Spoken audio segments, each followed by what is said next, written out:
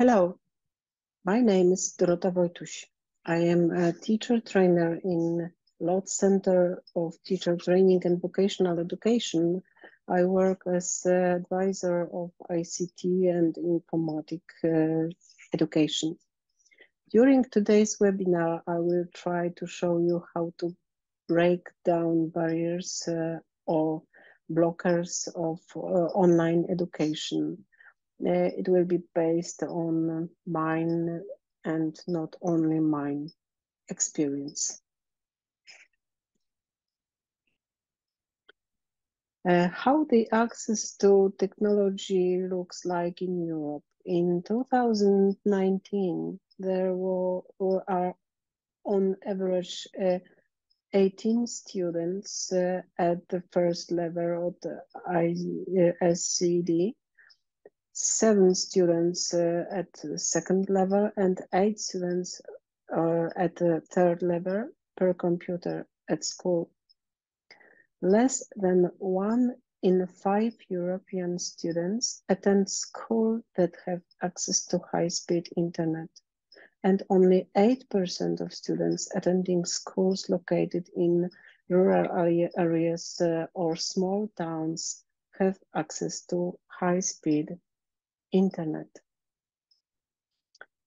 Uh, constructivism in digital education, the constructivist theory of learning primarily focuses on the uh, activity of the individual in acquiring knowledge.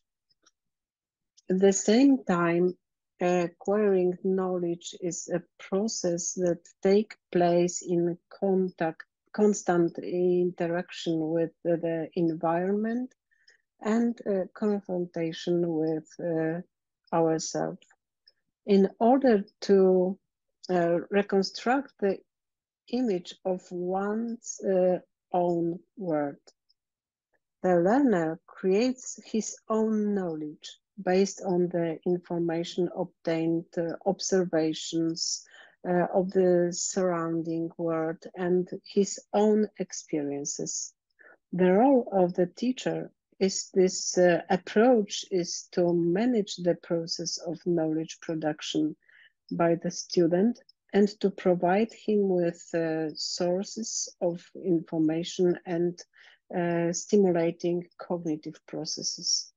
Constructivism assumes that teachers use activating uh, teaching methods to stimulate the student to act as much as possible.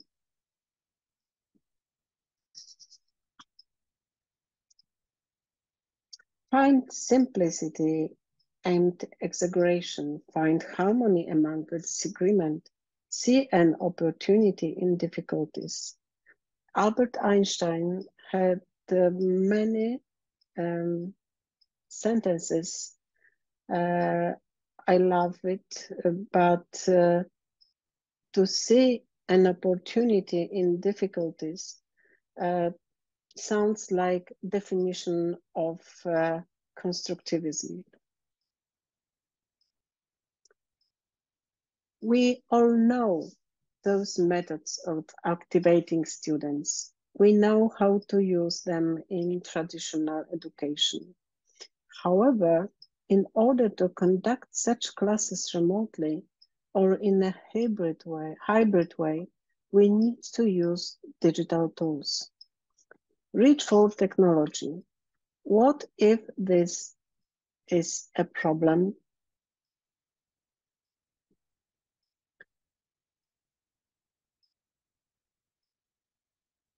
The first two are easy to deal with. I can go to work and conduct remote classes from there. I can borrow a computer from my institution or from someone I know. It's uh, to be done. If there is a concern about whether I'm skilled enough to use technology efficiently, I need to get support for example, students who are usually proficient in it, or give myself time to explore a subject.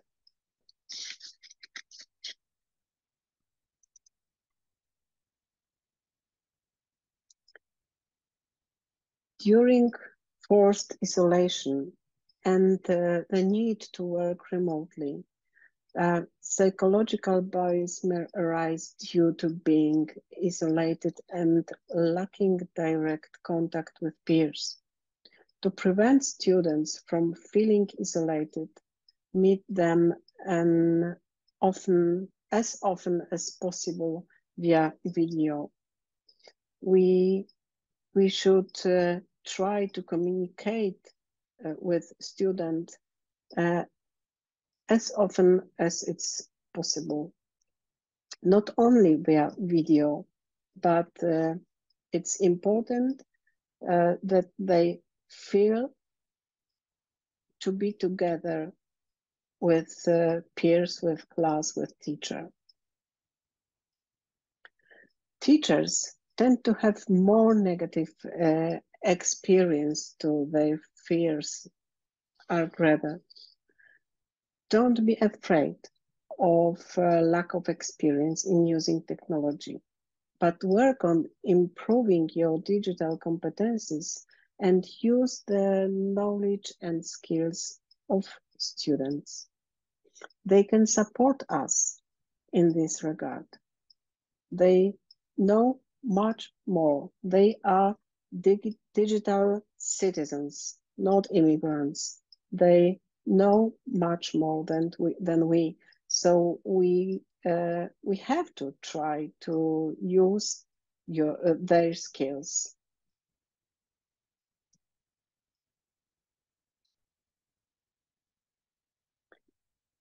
How to keep online communication and uh, in to keep uh, our student interested in topic in learning in being with with us.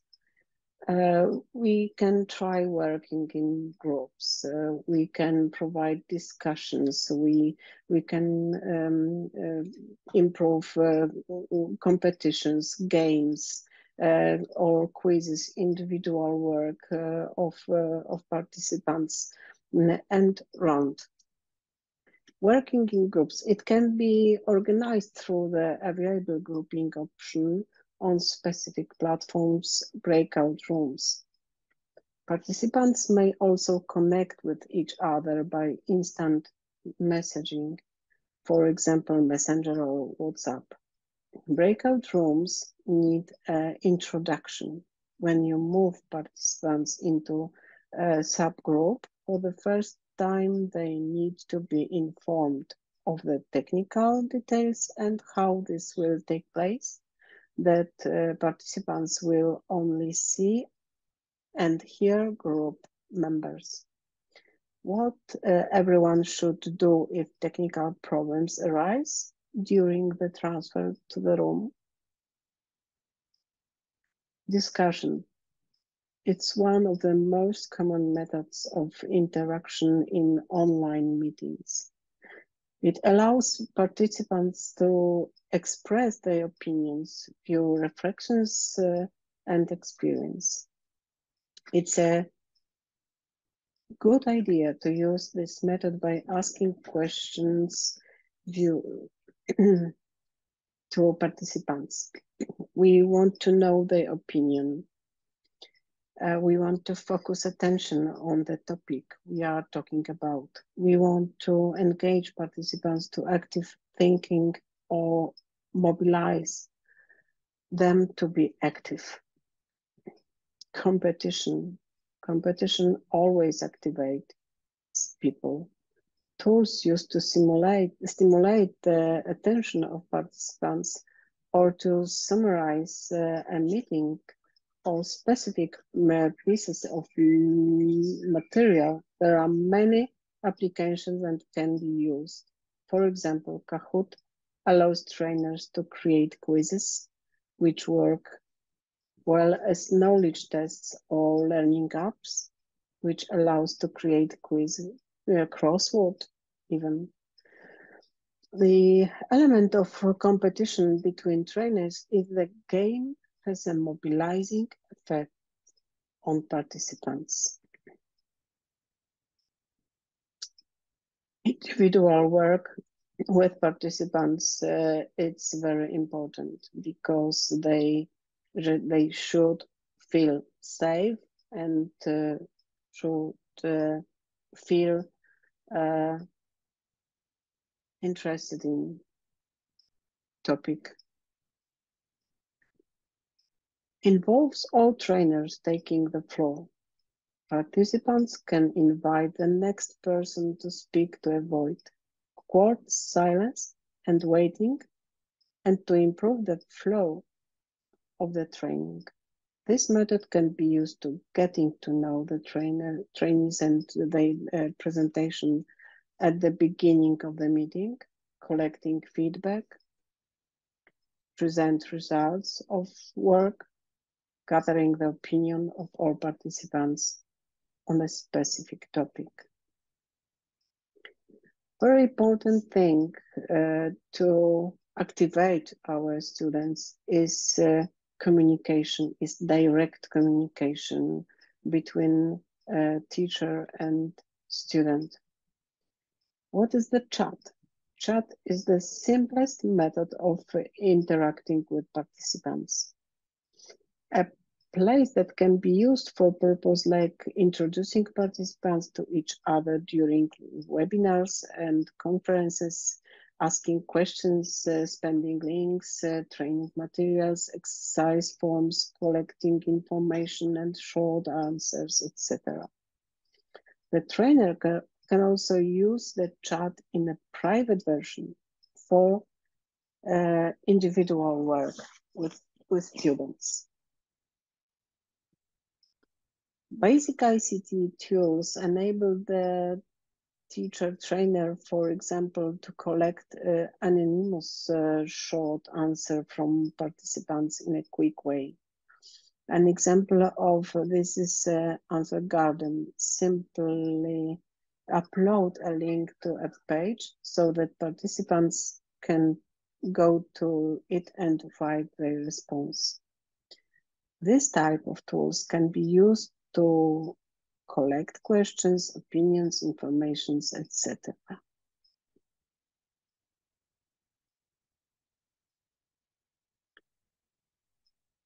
Shared virtual board and files.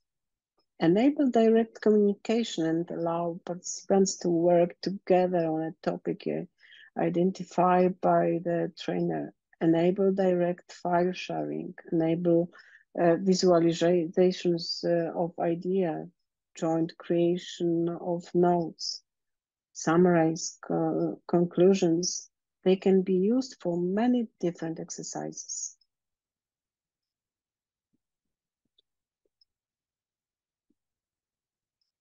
cybersecurity in online education is a problem. Uh, is uh, um, bigger than few years ago. A way to reduce the scale of cyberbullying may be to inform the public about existing threats, organizing training for teachers so that they can raise student awareness and keep them safe during remote learning, online learning. The world is getting more digital. digital. Why does it matter? It, uh, it's because uh, the world is smaller uh, because of technology. Uh, every one of us have uh, many accounts, many passwords, many places in um, in internet when we are, when we exist, when we work, when we communicate with uh, our friends even. So cybersecurity is a very, very important things. Why should learners care? Because the online world is so unconnected. Everyone could be a target. If just one of your accounts gets breached, crime, criminals can use it to breach others. Criminals may target personal accounts and data to bridge corporate ones and vice versa. I think it's uh, more dangerous in corporations, uh, in industry, uh, in government than uh, at school, seriously. What types of cyber attacks uh, we can expect? Phishing, email compromise. Someone can uh, send an email message from my uh, mailbox, for example. I didn't know it. I didn't send it, but it works. Fake websites. There are many fakes, fake news uh, uh, on the websites. Uh, you, as a teacher, um, have to check only those who are true and uh, useful for your teachers. Did you encounter any of such threats? If yes, how did you overcome them? Did any of such traits impact on your online learning process?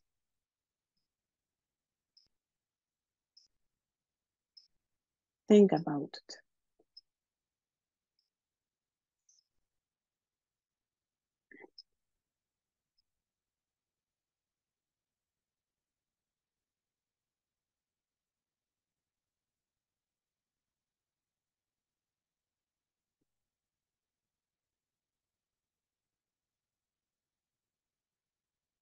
Now, some statistics. Frequency of online treats on learning platforms before pandemic. There was model. People didn't use, um, it wasn't so popular uh, to use uh, technology, to use uh, platforms, uh, internet platforms, educational platforms, because it was as support for, for teacher only. But during the pandemic, it changed. Zoom is um, a tool not good secure because uh, it's open, it's free,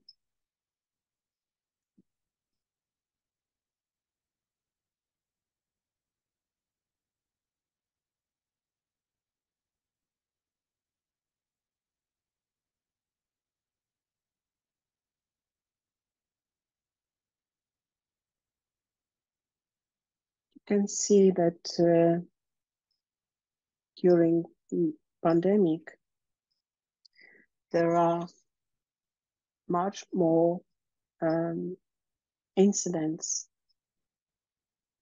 There was many incidents, um, much more than previous year.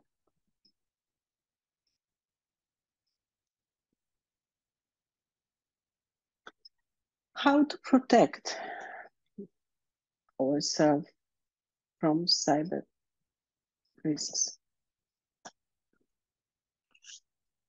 Really good protection is firewall, VPN. You can buy some applications for protection your device, your computer, your uh, tablet or mobile phone.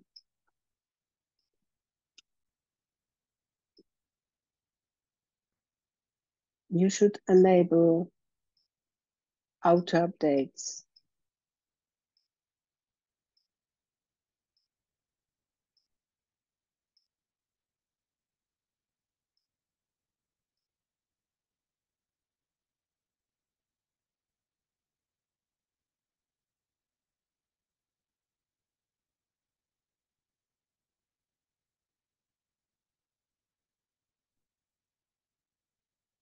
How to protect? It's a simple way.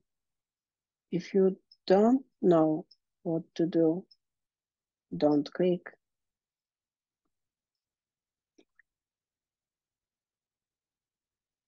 Use safe and long passwords with special characters, with numbers, with upper and lowercase letters.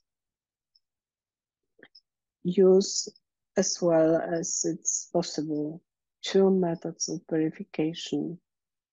If you try to log in on on your account. Uh, it works in banks uh, very often. You you have to check it in your mobile phone that you are really you.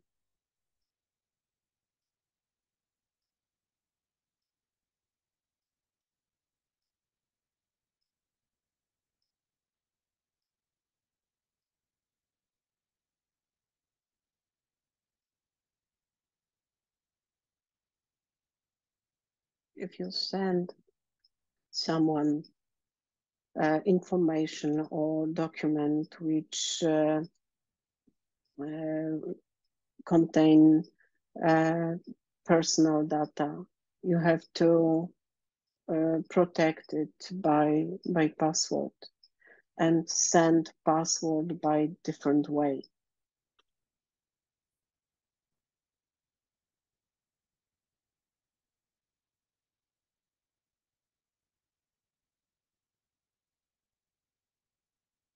Use good antivirus. Antivirus uh, which uh, which updates very often.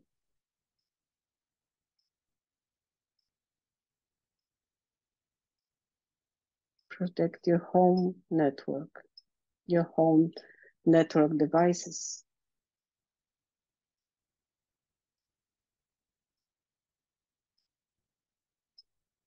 And it's time for case study.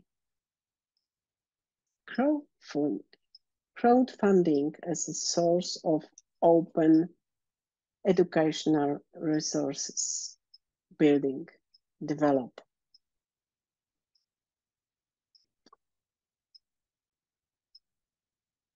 Many people use crowdfunding. See, in 2013, there was more, more than billion with uh, almost three invested in previous year. What is crowdfunding? Crowdfunding is an internet-based method to raise capital which involves pooling small amount of money from individuals.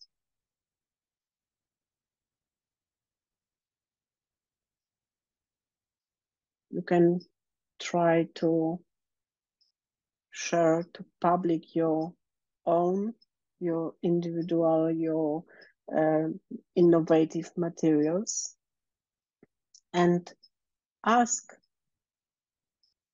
uh, people who may read this, ask them for small fund for developing my portal, my blog.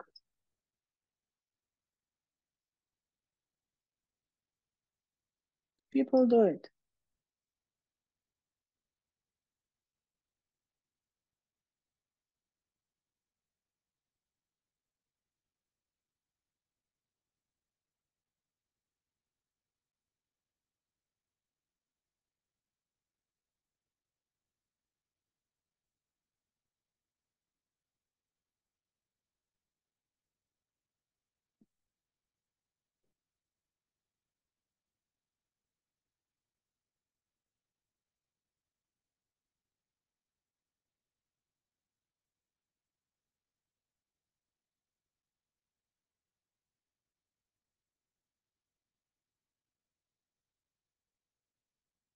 And it works.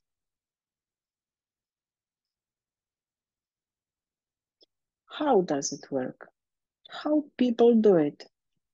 Because they fear of being at last partly responsible for the success of others' initiatives.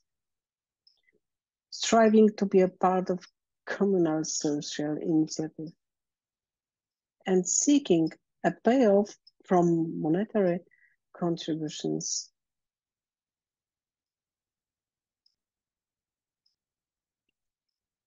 What types of crowdfunding? In donation-based crowdfunding, in reward-based crowdfunding,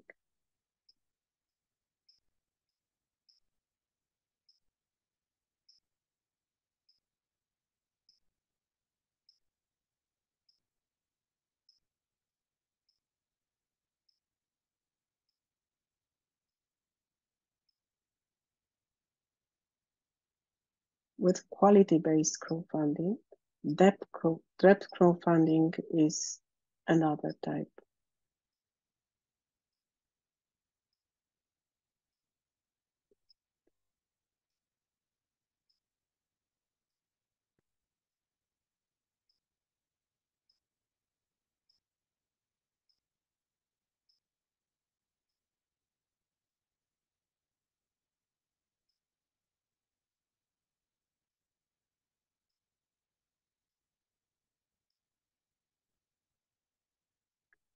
What is founded?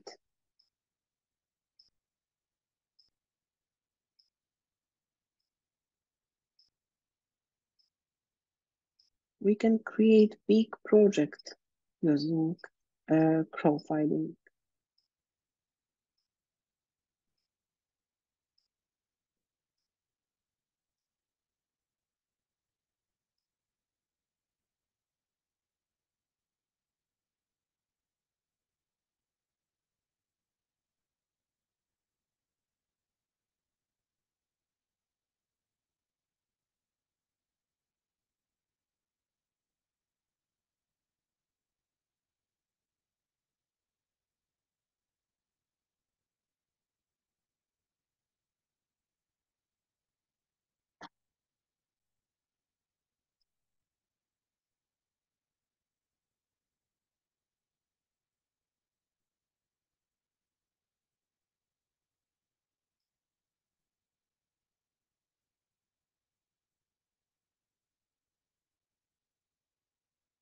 You can use crowdfunding uh, money from crowdfunding uh, to develop um, many initiatives, many uh, things, uh, applications, um, innovating.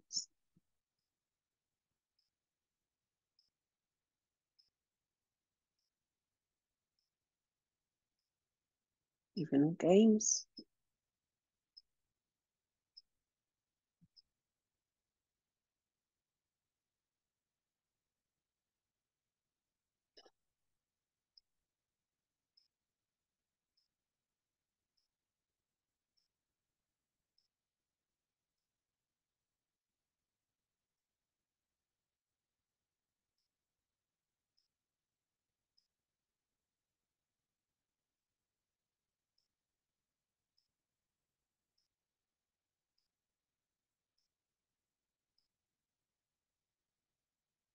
To spread crowdfunding idea about your project, you can use uh, social media, Twitter or Facebook, Instagram.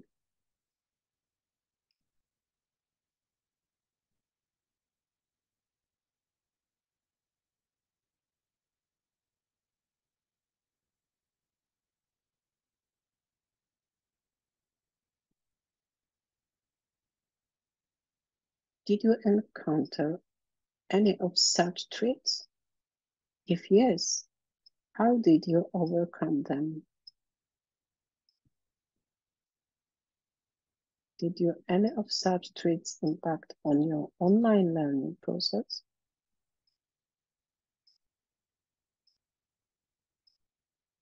develop a crowdsourcing campaign for open educational resource development.